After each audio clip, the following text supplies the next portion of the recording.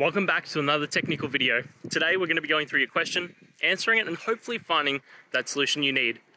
Guys, remember stay just a little bit crazy, just like me, and hopefully you get through that resolution. So let's continue on.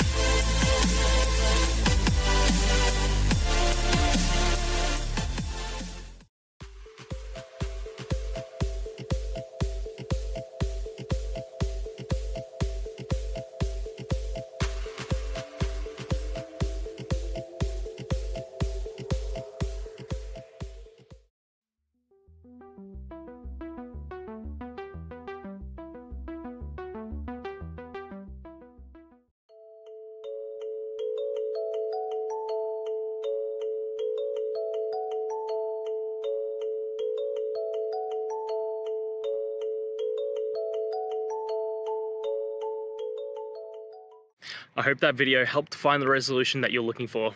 And if it did, please, I'd appreciate it if you could hit subscribe. Until the next time that you need more technical help, I hope you have a great one. See ya.